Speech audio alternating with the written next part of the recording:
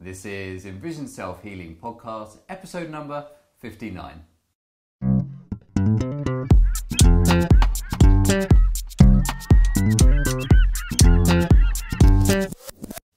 Hi, I'm Will Fuller, And I'm Richard Miller. and we are the co creators of EnvisionSelfHealing.com and are dedicated in helping you improve your eyesight and quality of life By taking healing into your own hands. Now, if you haven't had a chance already, then head over to the Envision Self Healing website and you can find a free ebook that gives you 10 top tips on how you can start improving your eyesight in our modern day world.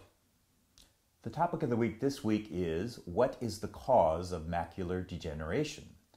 And in the second half of the podcast, we're answering a question from a client who has a history of skin cancer, and she's wondering, I want to do the sunning eye exercise, and how can I do it with this without with taking this risk into account?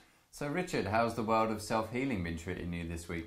Well, I've, I've actually had a very busy week, and uh, so Not the- building a house. Um, well, I'm finishing my yard actually. I'm putting Okay. sand. I'm actually putting like six to ten tons of sand in my backyard, but that's a long story. There's easier ways to hide a body, you know. No, I need a lot of sand therapy, so I'm just making a giant sandbox in my backyard. anyway, um, so and the, but the one task I was dealing with in terms of self healing this week is trying to deal with the water supply, my water supply, mm-hmm. and uh, it's not a metaphor. We're not talking about drinking enough water or. no, no, no. We actually well the the fact that we are all told to drink enough water, right? Right, And then you start looking at what's in your water. This is why I Uh-huh. bring this up. okay. And I've had years of trying to deal with this with filters and da, da, da, da. Mm-hmm. bought many many filtration systems in my in my history. I can hear a podcast topic coming up. Uh, it is a podcast. It's a very long top topic, and um, and even in San Francisco, where we have very very good water coming from the Sierra Nevada, Mm-hmm. they add um, fluor- fluoride for our teeth hmm Allegedly. allegedly. and they add um, stuff called chloramine, which is a substitute for chlorine, which is what most uh, municipalities uh, put in their water for, for killing bacterias and, and such. So the trouble is, fluoride, we, I think, has a detrimental effect uh, on the system. And the chloramine, actually, it's dissolved. I have a, a stream, a rubber, a, a rubber liner and a little stream I've built out and back, and it actually dissolves the rubber. Wow. So if it's dissolving rubber in my stream, what's it doing into my in my bloodstream or whatever, you know? So I'm now after all my filtration and stuff, I think I've decided to go with distilled water, and and there are now uh, countertop distillers out there. Okay. So it's a it's an interesting solution. So you don't have to think about this kind of filter and will it get this chemical versus that chemical or that bacteria versus. It's just sort of like creates steam and then condenses. Okay. So I just thought it was this is the finally where I've ended up after all these years Yeah. of buying a distiller. So I just thought I'd put that out there as a Mm-hmm. Nice. as Yeah, an well, option. We'll uh, take a look at that. Yeah. You, have you ordered it or? or It's coming like today. It's Okay. momentarily. It's going to Oh, arrive okay. via UPS. Yes. All right. Well, we'll uh, find out next week then. In fact, yeah. on with your If you guys hear a doorbell ring, that's my distiller. well, Richard, we're in a in a in a, a movie studio. Oh, right, right, in yeah. San Francisco. right. So, Um, so how was your week? Uh, yeah, it was good. It was good. I think I, I guess that the main thing that stuck out for me this week was uh, the weekend I headed to Golden Gate Park. Um, a great place for us, and also where we've done a lot of our videos. Anyone that's spent time on our website and seen the eye exercise videos uh, will know that we shot most of those in Golden Gate Park. And I had a really interesting uh, experience, not with any of the homeless people or, or, or anything like that, but um, I was walking uh, through the park and there was beautiful blue skies and trees and, and green all around me. And I don't know what it was, but I kind of tuned into um, the fact that I was going blind. Huh. And it was something that I don't know if it was last week or the week before, but I talked about how um, the, the the improvements that I'm getting is I'm sort of starting to see through the static, and it's it's kind of a, an insight into what normal vision might actually be ri- like. Right. Because I've had this since birth, right? So I don't I don't know what quote Normal. unquote um, normal peripheral vision is like. Right. So I kind of, um, ironically, I've been trying to, to figure out this, and ironically, I came up with the, the, the fact that I'm improving my eyesight so much that I know that I'm going blind. Yeah. and I thought that's a real uh, head scratcher. uh, It to try and try and get your head around. Um, but it was it was kind of momentary. It was it was the same uh, the same thing that happened before, but obviously I'd had a bit of time to digest it and think about it. And I was actually able to spend some time with it this time. And I think because it was a nice bright sunny day, I had the beautiful blue above me and the beautiful green below me, and it was all kind of broken up or very staticky. Whereas before, and anyone that's been following these podcasts will know that the static is just kind of a white static that that I Yeah. trying to see through it. So, but this was kind of more um, color was coming through the static, so I could see the RP, I could see the condition uh, that I had, and and how it's actually affecting the periphery, and how it's it's instead of just nothing being there, there was kind of colors and, and, and blocks coming through. So for a second there, I was like, "Oh, am I going blind?" Like it was like a, a head twist. Oh, it's like an Escher thing. You were switching your perspective on it. Yeah, well, I- yeah. I, didn't know whether uh, for a second there it was like, have I always had good vision, and now I'm losing my vision? Sure. Yeah. Or is it that uh, I had poor vision and I was improving it, and it was a I didn't know, you know, it was a real head twist. It's the half glass, half full or half empty thing, right? What? It, no, it wasn't even that. It wasn't. It wasn't so much of a, an emotional, philosophical. Ah. It was an actual. I didn't know. Um, Okay. I just it was like I didn't know whether whether it was like oh my vision because it because it I kind of tuned into it. Mm-hmm. It was almost like had I just woken up that morning Mm-hmm. and my RP had got really bad Right. and uh, I had really poor peripheral vision, Mm-hmm. or um, was it you know afterwards it was like well it's the it's the other way around it's Right. that i'm improving it so i can now see how poor the periphery is whereas before i, I didn't have any idea it was just Right.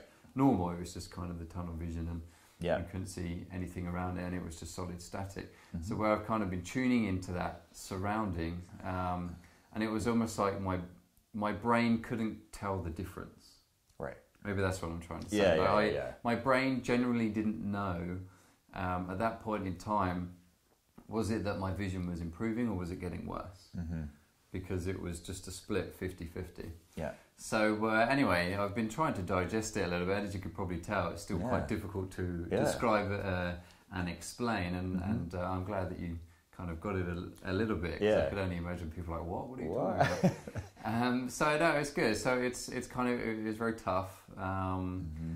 but it you know when you have time to digest it and, and think about it you know it's it's great that my vision is improving to the point where I'm starting to see and have more of an idea of what normal periphery should actually be like and that that color is starting to come through whereas before it was just kind of that white static in the way Yeah, and I can imagine that in people, other people in your condition, there is a tendency to emotionally distance yourself from that reality, and I think that's an obstacle, really. Mhm.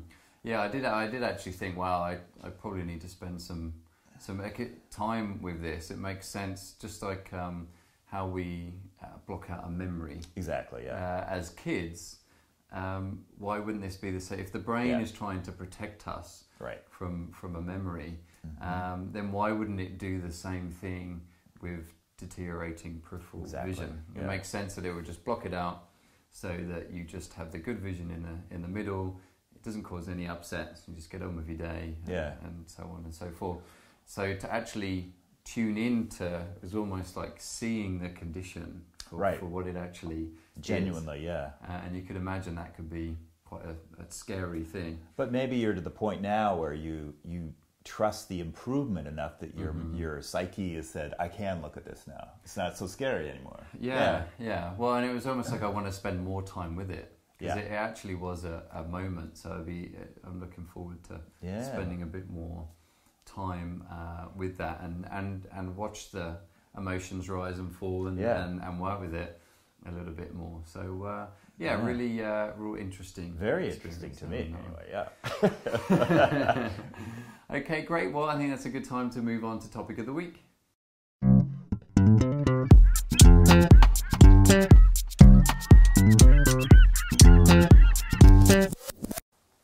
Topic of the week this week is what is the cause of macular degeneration? And we wanted to discuss this a little bit more, um, I guess mainly because we, we talked about peripheral vision Yeah. uh, last week. So we thought, you know, we always talk about having balanced vision. So I guess it kind of makes sense that we uh, balance out the, Our the, topics, yeah. the, the peripheral vision with the central vision. yeah.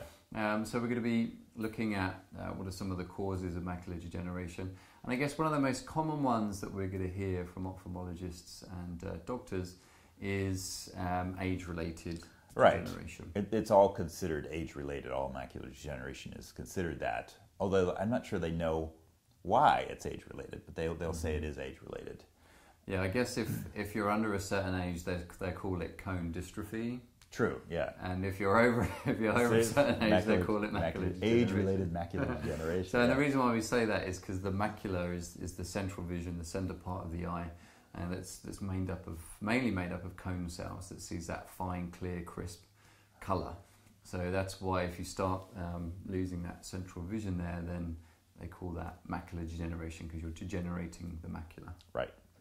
So I think if we actually go on to the other causes, maybe we can explain a little more why this happens in your older age anyway, which they don't tend to do. So, Mhm, yeah, so the next uh, cause we would uh, bring up is circulation, is blood circulation, and um, this is we believe that it's the blood flow to the head, and actually a, a lot of ophthalmologists are now getting on board of this too. That poor circulation to your retina is causing macular degeneration, and it's it takes two forms at this point. It's the wet macular degeneration or dry. Both of them have to do with circulation. The dry is uh, you have a debris from the retina doing its job of converting uh, light rays into electricity. When it does that conversion, it throws off debris. And normally there's a, a, a kind of cell called the phagocyte who goes, is like the garbage man of the retina, and goes and eats that debris and gets rid of it. It's kind of part of uh, the white blood cells. It's part of the sort of immune system. They also go through the body and removing sort of alien cells or Right. mutated cells or Yeah. you know Yeah. cells. So it's sort of a the garbage man that Richard was just talking Yeah. about, or woman, garbage person, Yeah, there we go. um, that, that that clears uh, clears the, The debris. bad cells from the Yeah. And that comes, so the retina is uh, where the photoreceptors are. And just below that, there's the choroid, which is the blood, uh, a level, um, a layer of blood circulation, blood vessels. And that's where these uh, phagocytes come out of. Yeah, in fact, anyone that's uh, seeing this on the video um, can see that we've got three layers here. Or you, you know, if you want to look at any uh, chart of the eye, on just do a, uh, an internet search for it, and you'll see the layers. And the and the red layer um, in the middle is uh, the choroid that's that's feeding the retina with blood. That's Right. how uh, obviously we need blood in order to get that nutrition and to take waste away. So as you see, the phagocytes are coming from that level to, to eat away the debris. If the circulation drops, then you're going to have less garbage men basically being transported to your retina. Garbage people. Garbage people, yes. okay, so that's the dry form. The, the wet form, again, uh, it's the retina not getting enough circulation because of blood flow problems, starts growing new, new vessels to supply the retina. And these, re- these blood vessels are subpar, essentially, they leak. And, uh, and they also grow in the wrong places, and it's called neovascular. I have trouble with this word. Neovascularization. It sounds like a baddie in a, in a Marvel comic or, Yeah. uh, or something. Yeah. So that's these new blood vessels, vascularization, growing and then leaking, and then the blood uh, drowns the photoreceptors. So, And it's amazing because what the body tries to do is grow new blood vessels, right, to try and compensate for this Right. weakness. But then those new ones that are growing are, are weaker right. than the other ones, so then they become even leakier. So it sort of exacerbates. Yeah. The body doesn't always do. It does what it can to try and Yeah, cope, but it al- makes doesn't always work. sense. You know. And it's the same in uh, diabetic retinopathy. Right. I'm sure we, we'll cover that in more detail later on down the road, but it's, it's the same thing where it's trying to grow more uh, capillaries and blood vessels to try and deal with the situation that's going on. But those new vessels are weak, so it's just leaking into the eye. And that's why um, what they do with surgery is uh, they used to laser it. Um, yeah. But they're finding that that's damaging the eye, right? So they're leaning more towards the injections now. The, the chemical, yeah, the chemical injections that cauterize mm-hmm. essentially the, the blood vessels. Mm-hmm. So, uh, so that's blood flow. We did age, we did blood flow. And why don't you talk about misuse? That's mm-hmm. sort of mm-hmm. the third. So, uh, so with the misuse, then, um, if you think about it, the eye was kind of designed uh, or has evolved in order to respond to sunlight. So, like Richard said before, you know, the job of the eye is to take light, convert it into electricity, where it's then sent to the brain because it's the brain that actually sees. So it's sort of just sending that message to the brain. The brain puts all the pieces of the puzzle together, and then it goes through the brain, adding memories, smell, and whatnot. Um, and then we can sort of work with what we're seeing there as, as the vision. So our eyes have evolved around this. Now, if you think about how much time we actually spend in sunlight or daylight, even. Even if it's a cloudy day, we spend most of our time indoors. In the in, and sadly at the moment uh, with these these pretty horrible halogen uh, lights, the sort of yellowy color light that that most people complain of headaches and whatnot mm-hmm. through.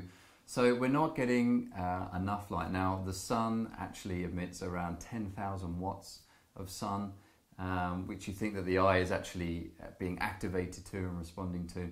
Whereas when we're indoors, you may be looking at 100, 200 yeah. watts. You know, it's really not the same comparison. So if you could imagine then that the eye has evolved around receiving this bright, brilliant sunlight, it's got the same power that the sunlight's got. So the cone cells respond and they're fully activated to that. Just like uh, if you were lifting a weight, the muscle is going to respond to that. That strength responds to carrying and holding those heavier weights. Mm-hmm. So if you're only doing really light weights, then you're not really going to build the strength in that eye. Mm-hmm. So if you're not doing that, then they're going to become weak over time. Mm-hmm. So that's why we you know recommend quite a lot of the exercises, and in particular we talk at the end about the sunning, is really trying to exercise and activate. So not going outside, and even when we do go outside, we wear sunglasses. Yeah.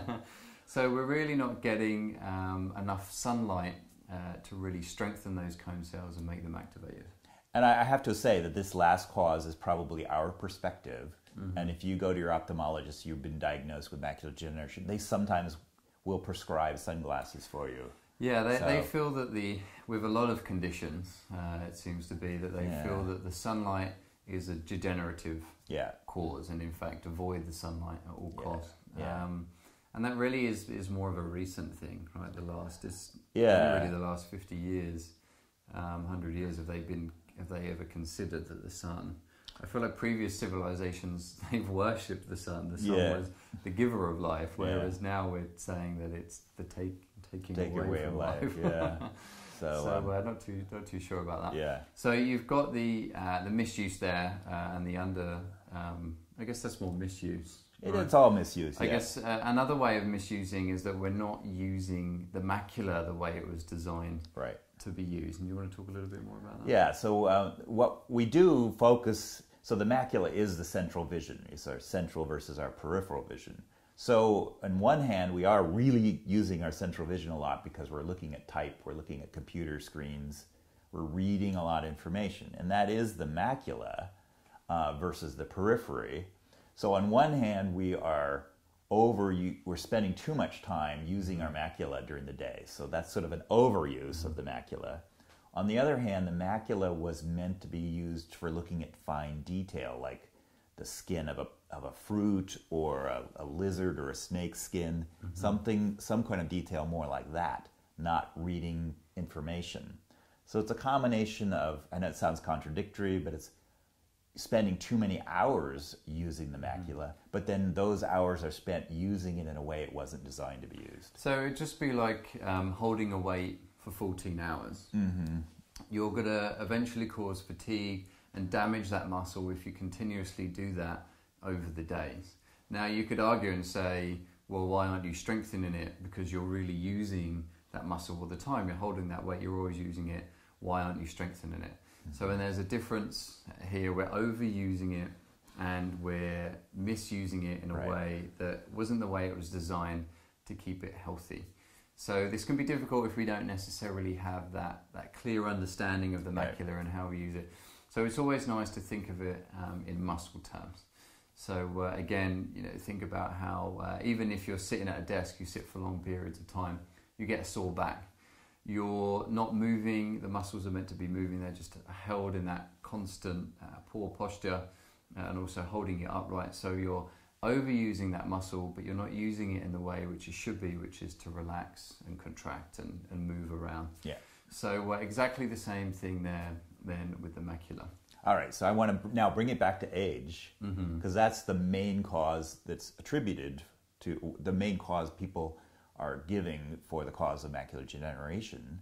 So let's just take it back to that. So if you spend your whole life uh, looking at reading and not looking at details, centrally fo- overusing centrally v- focused vision, and your circulation is poor uh, for a, enough time, ergo, wouldn't you be degrading your macula? And therefore, maybe when you're young, you can misuse it and have poor circulation, and you get away with it. But then at a certain point, you can't get away with it anymore. Yeah, I mean, once those, once the, we talked about the phagocyte cells there that are trying to clear everything away, and it just makes sense that over time, um, Yeah. just like if there's a, I don't know, a postal strike and, and maybe only uh, one quarter of the force goes on strike, you can still kind of get your mail, it's still going through, and then half of the mail uh, people go on strike, and then you start to notice that it's not working as well, and then so on and so forth until Yeah. you're just not getting your mail anymore Yeah. uh, or your uh, distiller that comes through. So uh, Yeah. and everyone wants clean water.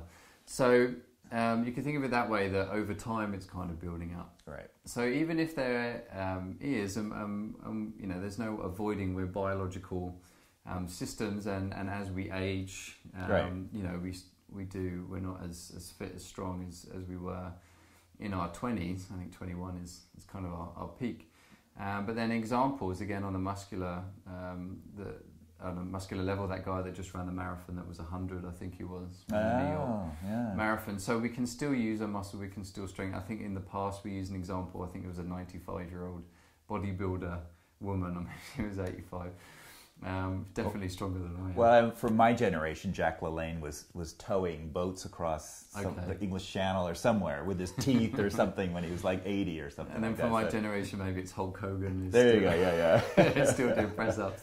yeah. Um, so you know you, you can maintain that strength, and that's what we're saying here. That even if there is that predisposition, so that there's two things here. One is that you know you could actually be you know causing the macular degeneration by using your system in a poor way. But one is that just through the knowledge that we know here is that even if you're not using it in a poor way, you have good blood flow, but we have this predisposition to macular degeneration through age, then we want to exercise the cone cells, exercise the macula by doing all these positive things um, so that you're keeping it strong and healthy so you maintain uh, that good central vision. Yep. Okay, great. Well, I think that's a good time to move on to question of the week.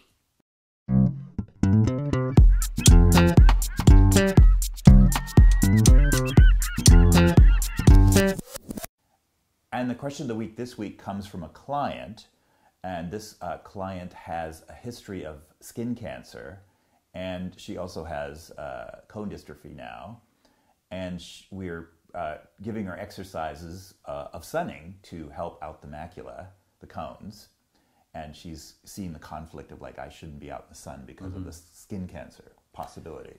So it's a little bit similar to what we were talking before about this, um, the fear of the sun that's that's successfully uh, created uh, by the doctors and, and media and, and whatnot.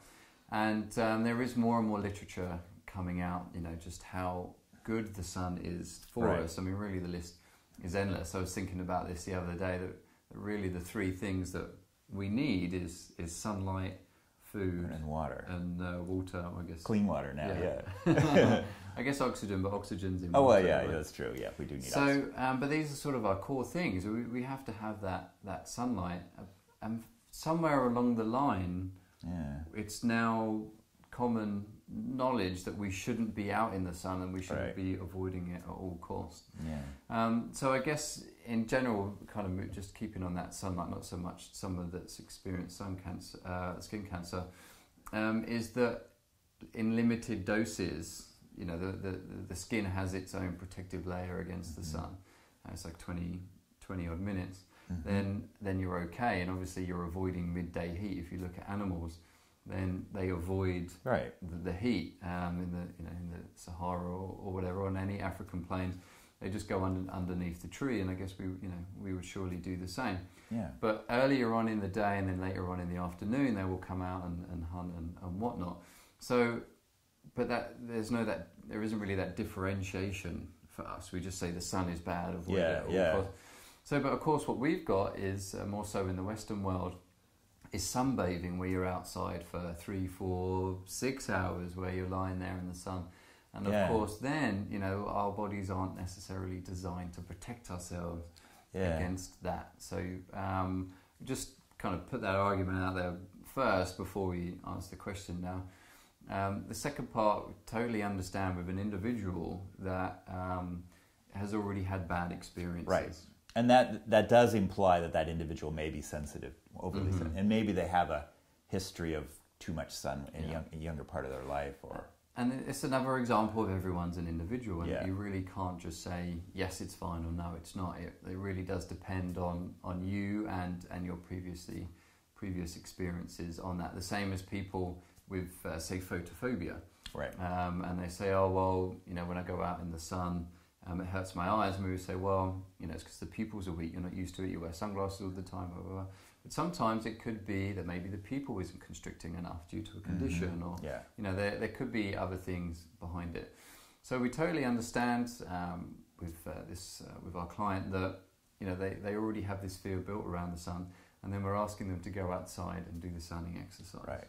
Well, I'm just thinking back to the examples you brought up of indigenous cultures and things like that. Mhm. So some of our solutions really come from that. They're very common sense. Mhm. Like don't go out in the middle of the day, like you would. Yeah. You know, the Ab- Australian Aborigines would not be standing out in the in the, in the middle Yeah. midday sun. They'll go Yeah, into the shade. me. Yeah, yeah.